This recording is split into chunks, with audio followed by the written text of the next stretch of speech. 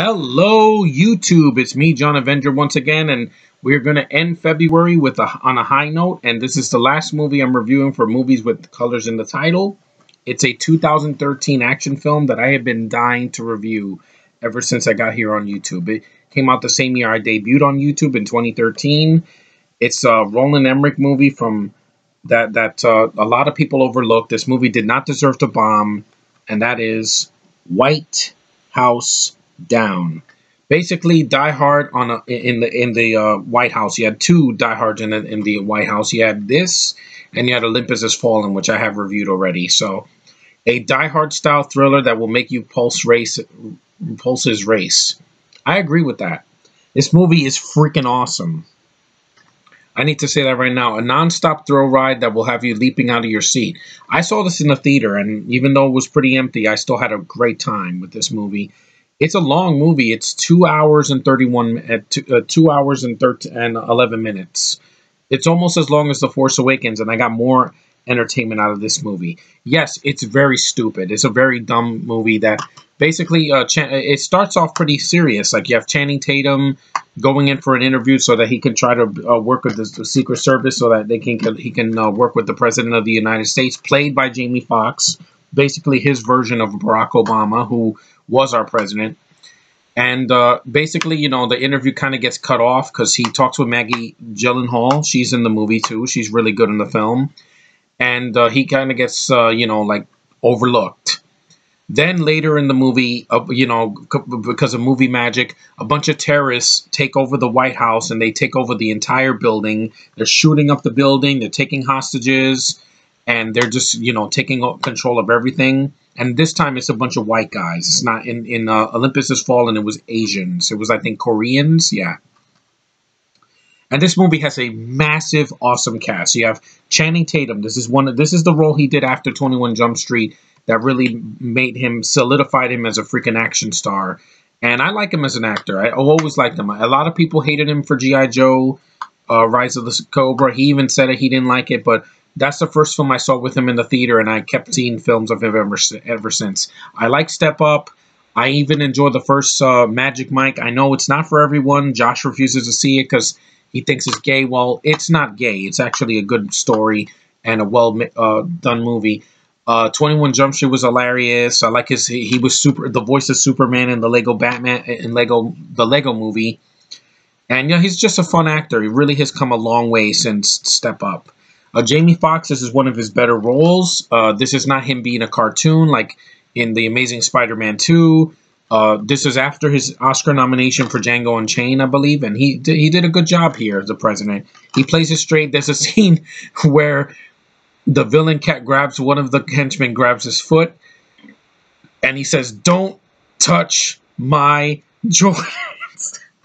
I love that scene. This is an action comedy. If you're expecting this to be dead serious, like like freaking like uh, Saving Private Ryan or something, no, this is not that kind of a movie. This is an action comedy. There's plenty of humor in the movie. You also have Maggie Gyllenhaal, Jason Clarke. He plays one of the henchmen. Uh, uh, my friend uh, Sean would know him. He was in uh, one of the Planet of the Apes sequels. I think he was in Dawn of the Planet of the Apes. Also, you have uh, Richard Jenkins. He's one of the guys in the movie. He's the old guy that was in Cabin in the Woods. And you have freaking James Woods as one of the main villains. He is fantastic. He has gray hair. He's a great actor. He has stage. He has stage and screen presence. You know, every time you see him on screen, you do not want him to leave because the guy has come. You know, he's just come a long way. I mean, he's been an actor for over thirty years, and he he he freaking has earned this spot. This is the Blu-ray DVD combo pack that I got at Best Buy for six ninety nine, uh, six dollars. It's worth it. It's worth every penny. I even got a digital copy. Uh, you also have uh, in the rest of the cast, you have um, uh, a young, very young, uh, what you call up and coming actress who I think is absolutely adorable. Uh, Joey King. She plays Channing Tatum's daughter in the movie. You also have the redheaded chick from Twilight uh, that plays the mom. She's not in it that much though. Uh, but she's good in the film for what she has to do. And there's a lot of action in this movie. You want action? This movie has a ton of it. Roland Emmerich doesn't shake the camera. He doesn't freaking, freaking put shaky cam or uh, bad edits, or he's not putting the camera like this. He keeps the cam. He doesn't do uh, you know freaking angles like a, uh, a narrow angle like in freaking um Battlefield Earth. No, he a Dutch angle. Yeah, he doesn't do that. He keeps the camera steady. You can see all the effects. There's some great practical special effects. There's CGI in it, a lot of explosions and things, but oh my god, is it wondrous. I remember almost every action scene in this movie. The scene where they're shooting up the White House, the scene where there's the helicopters, uh, you know, exploding things. You have the scene where freaking Channing Tatum and and and and, and uh, Jamie Foxx are in the freaking presidential limo, and he and he loses. They use a rocket launcher to try to shoot the bad guys, and he loses. It's like, how could you lose a rocket launcher? And I'm like, yeah, it's a ball and a half. I had great, a lot of fun watching this in the theater. I laughed my ass off with the jokes. It's a very long movie, but it's so fast paced, it you don't even feel it. And uh, you know, the cast really helps with this movie because they're in on the joke. They're not winking at the camera. It's not meta, but oh my god, is it a lot of fun. It reminds me of the 80s action genre, you know, action film genre, where you got a muscle bound everyman who gets into a situation that he, you know, is not ready for, but he just he comes out swinging. Channing Tatum, yeah, he he's he not he's not like Bruce Willis in Die Hard, but he has enough charisma to make the movie work. Because he's just there for an interview, so he could just be in the Secret Service. His daughter is there for a tour of the White House, and she's uh, filming, you know, for a YouTube channel, and and uh, Jamie Foxx is he he says a little speech on there, and his wife in the movie, the first lady, is played by Garcelle Beauvais. She was his girlfriend in in uh, uh Fancy in uh in uh what you call it in J the Jamie Foxx show. So I remember that. It's a nice reunion with the two actors. It was good to see her again. And uh, yeah, like I said, the action is so plentiful. There are so many action movies nowadays where there's like two action scenes, or you have to wait an hour for something to happen. No, hell no. This movie, within the first 30 minutes, shit is going down. There's explosions. There's freaking glass breaking. There's freaking a fight scene in the kitchen. There's freaking, you know, things going tossing around. There's blood. There's freaking. There's a scene where one of the tour guy, he the tour guide is is is uh I think he's like uh, he, he hits one of the terrorists with like a freaking uh with, with like an, an, antique in the in the freaking White House, and there's a helicopter propeller that's going right here, right near him, and he's like, ah! and it's like it's so funny. Oh my god, you got to see this movie, guys. Nerd Pack, watch this movie. I guarantee you're gonna have a ball and a half block Roland Emmerich's freaking Independence Day 2 out of your mind. This is way better than Independence Day Resurgence. This should have been a huge freaking hit, just like Olympus Has Fallen. It's a very good premise, and it works. It's PG 13, but it just goes for the punches. It's like a freaking, you know, it's like a freaking Bourne film or uh like like the freaking Mission Impossible movies on freaking speed, man just so much freaking action. I'm like, my God, this movie is so action packed, and yet no one saw it. What were the freaking general public thinking? Yeah, you went to go see freaking uh, other movies that came out in 2013 that were shit, and yet this movie, like Now You See Me, I think came out in 2013. That movie made money. This didn't. Why? Why? That movie's not an action film, and it has a stupid twist. There's no twist here uh, J James Wood basically is a he's an old man that has like a like a medical condition, and his son was killed. I think because he he blames Jamie Foxx for that. And they don't mention 9/11, so don't worry. This movie will not offend you. And uh, there are problems in the movie. I'm not going to say there, it's perfect. Like I said, it's a very dumb movie. Like the the henchmen are very over the top. There's one with a southern accent, and uh, you know there is a scene I didn't like where um, one of the henchmen hits Joey, Joey King, and she's very young in the movie. She looks very scared. I don't like violence towards children or young teens. That really pisses me off, but it doesn't affect the rest of the movie. Channing Tatum kicks the ass of all of these freaking terrorists. Uh, Jamie Foxx is really good in the film. There's a he says a speech to uh, James Woods, and he says "fuck you," and I'm like, yeah, they have, have an f bomb in a PG-13 movie and it's not wasted like an apocalypse where Michael Michael uh, no uh, Michael Fassbender's like who the fuck are you? No, that's a stupid line. Sean, you cannot defend that line. That line came out of nowhere. Here, it's earned. And it's a PG 13 that has some balls, has a ton of action. It doesn't drag for 20 minutes. It doesn't have 150 characters that that don't do anything. It doesn't have freaking bad CGI thrown in your faces like uh, that, that like that's just eye candy. Here, practical effects. a freaking solid cast, a fast pace, a good premise. The, the film looks fantastic. I've seen this movie in, uh, several times, and every time I watch it, I'm like, wow, this actually looks like a movie.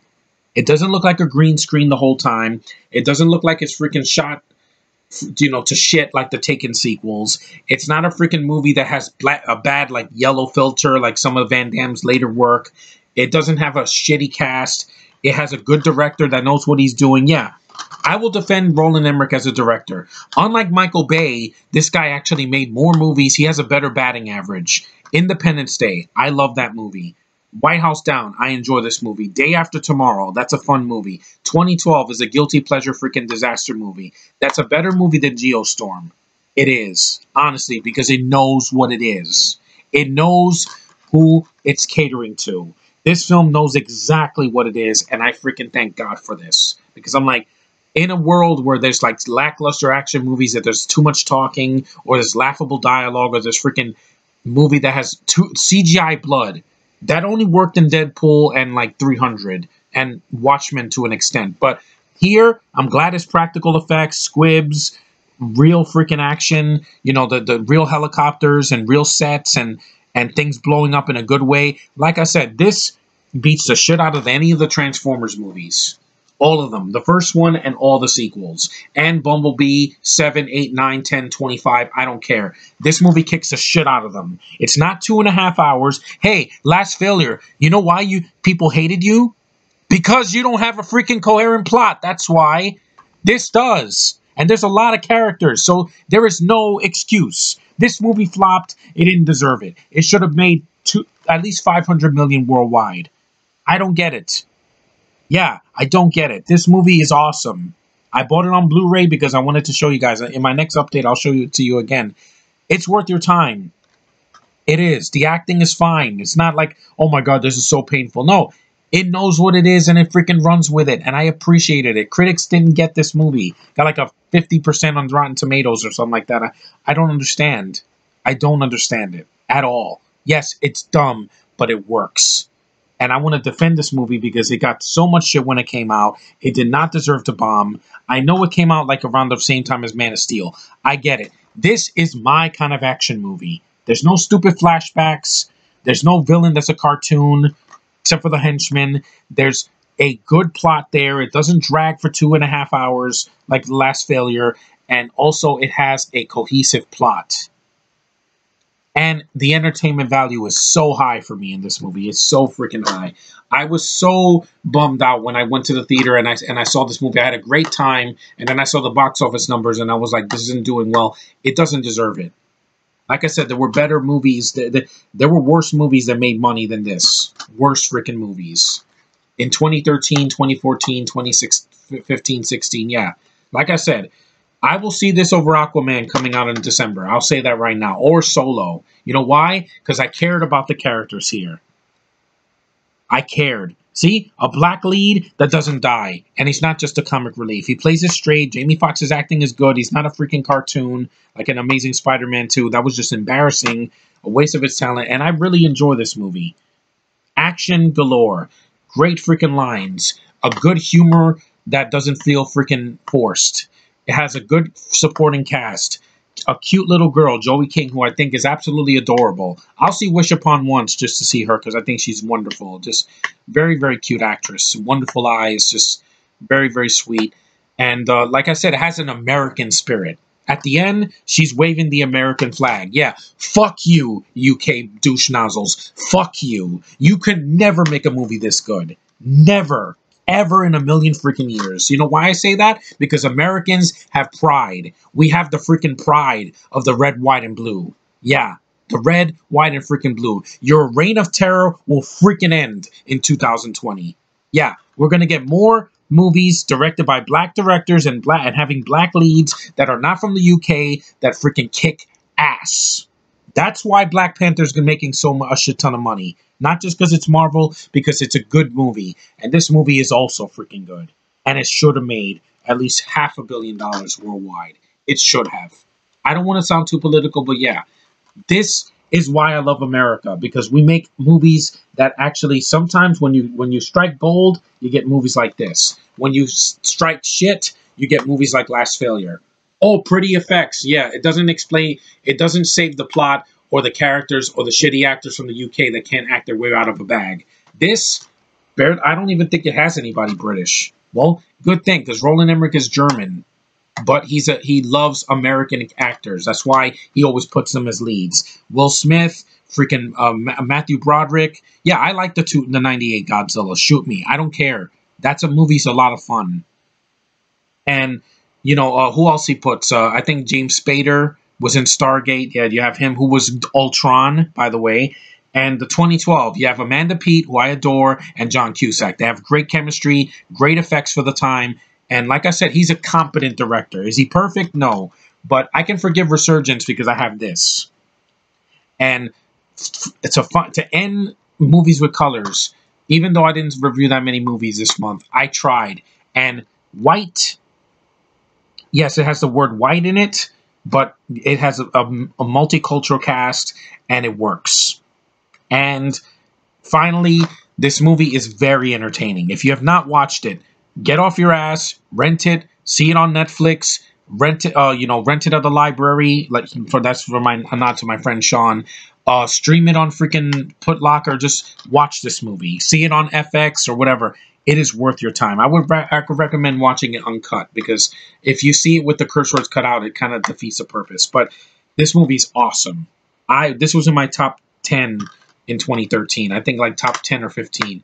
I really enjoy this movie and it kicks the asses of any of these freaking move wannabe movies done by these freaking freaking you know uh, English muffin crackers that they think like oh we're gonna make the greatest Star Wars movie ever with a bunch of Brits yeah and it didn't freaking work financially it did critical wise yeah very mixed reaction yeah this movie got critically bashed but at the end of the day it's gonna hold up more than these freaking Disney war movies easily because it's PG-13. It's a hard PG-13. This is not childish, freaking watered down PG-13s like nowadays.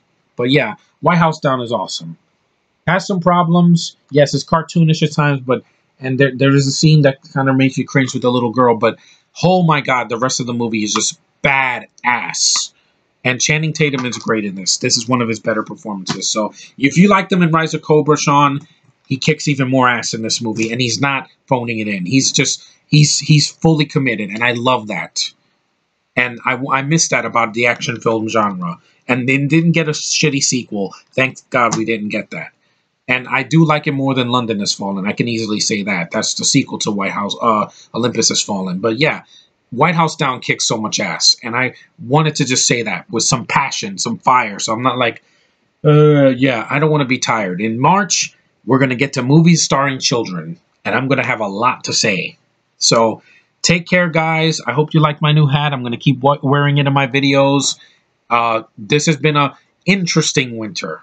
There have been some times where I was bored to death, but getting movies like this for ultra cheap is so freaking worth it. And yeah, see White House Down. It's an American-made movie, and I love it. And thanks for watching. Take care, and I'll see you in March, guys. Later.